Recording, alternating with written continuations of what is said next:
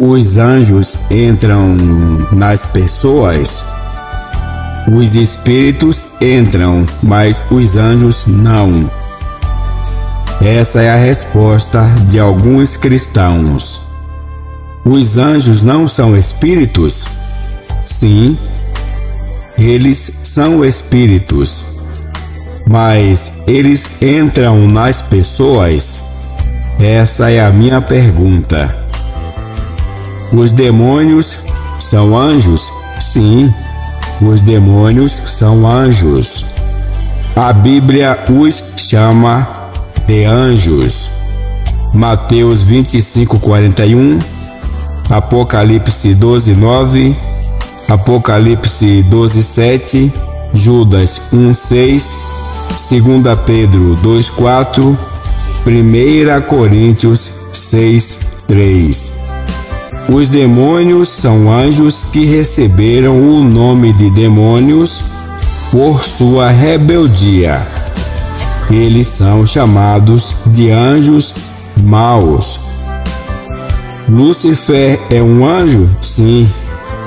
Ezequiel 28, 14. Ele deixou de ser anjo por se rebelar contra Deus? Não. Os demônios deixaram de ser chamados de anjos por se rebelar contra Deus? Não. Porque Lúcifer deixaria de ser anjo se os demônios não deixaram de ser? Os anjos entram nas pessoas? Não existe um relato bíblico que confirme essa possibilidade que os anjos entram nas pessoas.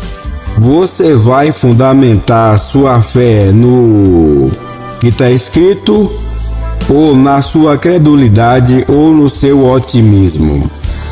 Você vai fundamentar sua fé na fantasia, na imaginação ou na razão.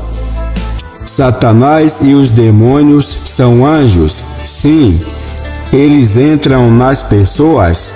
Não. Devemos fundamentar nossa fé, nossa esperança no que está escrito e não naquilo que o pastor acha, não naquilo que o pastor acredita, não naquilo que o pastor pensa.